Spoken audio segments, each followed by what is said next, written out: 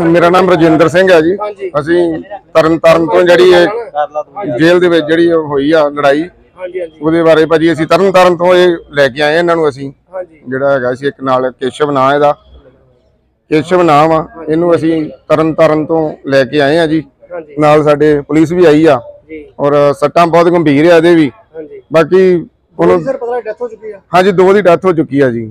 ਪਤਾ ਲੱਗਾ ਕਿਹੜੀ ਗੱਲ ਤੋਂ ਝਗੜਾ ਹੋਇਆ ਪਤਾ ਨਹੀਂ ਸਾਰੇ ਉਹਦੇ ਬਾਰੇ ਕੋਈ ਪਤਾ ਨਹੀਂ ਅੰਦਰ ਕੀ ਆ ਕੀ ਨਹੀਂ।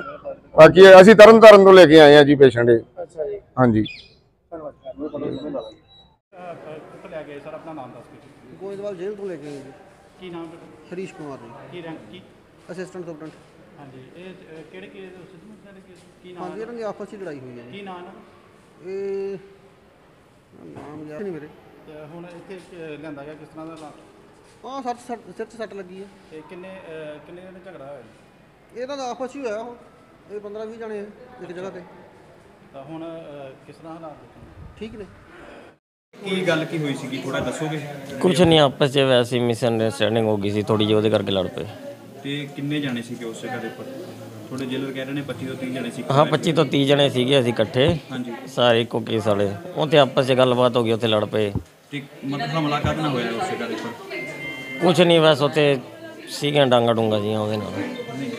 ਤੁਹਾਡੇ ਜਿਹੜੇ ਸਾਥੀ ਕਈ ਜਣੇ ਕਹਿ ਰਹੇ ਸੀ ਕਿ ਰਾੜਾ ਰੋੜਾ ਉੱਥੇ ਪਈਆਂ ਹਾਂ ਰਾੜਾ ਰੂੜਾ ਸੀ ਸਰੀਏ ਸੂਰੀ ਉਹਨਾਂ ਨਾਲ ਹੋ ਗਈ। ਤੇ ਉਹਨਾਂ ਦੇ ਵਿੱਚੋਂ ਸਿਰਫ ਤਿੰਨ ਜਾਣੇ ਸੀਗੇ ਜਿਹੜੇ ਜ਼ਿਆਦਾ ਜ਼ਖਮੀ ਹੋਏ ਕਿ ਹੋਰ ਵੀ ਸੀਗੇ ਉਸ ਤਿੰਨ ਹੀ ਸੀਗੇ ਅਸੀਂ।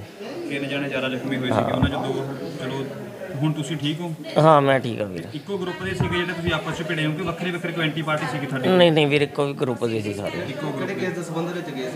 ਮੂਸੇ ਵਾਲੇ ਦੇ। ਸਾਰੇ ਮੂਸੇ ਵਾਲੇ ਦੇ ਕੇਸ ਹੀ ਸੀਗੇ ਜਿੰਨੇ ਜਣੇ ਉੱਥੇ? ਹਾਂਜੀ। ਮਨ ਨਹੀਂ ਪਤਾ ਵੀਰ। ਠੀਕ ਹੈ ਭਾਜੀ ਠੀਕ ਹੈ ਥੈਂਕ ਯੂ ਓਕੇ ਡਿਪਟੀ ਸਾਹਿਬ ਆਇਓ ਮਿੰਟ। ਪਲੀਜ਼ ਟੇਕ ਲਾਓ ਯਾਰ ਆਈਡੀਆ ਲਾਓ।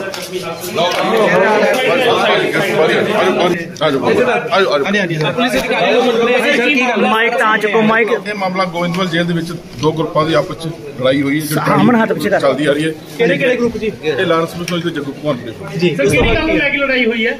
ਕੀ ਮਾਮਲਾ ਕੀ ਸਰ? ਪੁਰਾਣੀ ਤੋਂ ਬੰਨ ਬਣਾ ਕੇ ਲੜੇ ਆ ਪੁਰਾਣੀ ਇਹਨਾਂ ਦੀ ਆਪਸ ਵਿੱਚ ਲਗੜ ਚੱਲਦੀ ਹੈ। ਕਿੰਨੇ ਕਿੰਨੇ ਨੌਜਵਾਨ ਲੜੇ ਜੀ ਜੇਲ੍ਹ ਸੁਪਰਡੈਂਟ ਨੂੰ ਕਿਹਾ ਗਿਆ ਛੜਾ ਜਿਹੜੀ ਬੈਰਕ ਚੇਂਜ ਕਰਦੇ ਨੇ ਕਿਉਂ ਨਹੀਂ ਕੀਤੀ ਗਈ ਉਸ ਨੂੰ ਇਸ ਵਾਰ ਜੇਲ੍ਹ ਸਰ ਸੁਪਰਡੈਂਟ 30 ਤੋਂ 40 ਜਣੇ ਕਹਿੰਦੇ ਆ ਕਿ ਫੱਟੜ ਹੋਏ ਨੇ ਉਹ ਹੋਰ ਆ ਸਕਦੇ ਫਿਲਹਾਲ ਨੇ ਤਿੰਨ ਫੱਟੜ ਹੋਏ ਜਿਹੜੇ ਆਪਾਂ ਇੱਥੇ ਲੈ ਕੇ ਆਏ। ਇਹਨਾਂ ਦੇ ਦੋਨਾਂ ਦੇ ਨਾਮ ਕੀ ਨੇ? ਮਨਪ੍ਰੀਤ ਭਾਊ ਹੈ ਜੀ। ਇੱਕ ਅਰਸ਼ਦ ਖਾਨ ਹੈ ਤੇ ਕਿਹੜੇ ਕੇਸ ਸੀਗੇ ਅੰਦਰ?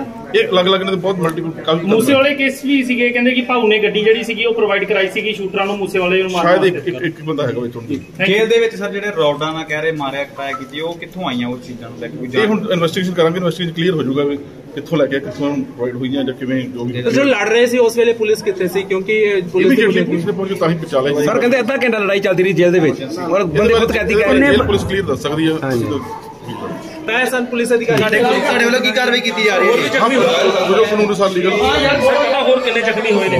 ਦਿਲ ਤਾਂ ਜਿਹੜੇ ਸੀਰੀਅਸ ਇੰਜਰ ਸੀ ਉਹ ਇੱਥੇ ਲੈ ਤਿੰਨ ਜ਼ਖਮੀ ਕਿਹਾ ਯਾਰ 30 ਕੇ ਕਰੀਬ ਬੰਦੇ ਹੈਗੇ ਜਿਨ੍ਹਾਂ ਨਾਲ ਲੜਾਈ ਚੱਲ ਹਾਂ ਉਹ ਕਲੀਅਰ ਹੋ ਜਾਏਗਾ ਥੋੜੀ ਦੇਰ ਕਿਹੜੀ ਜੇਲ੍ਹ 'ਚ ਸਰ ਬੰਦ ਸੀ ਗੋਇੰਦਵਾਲ ਜੀ ਠੀਕ।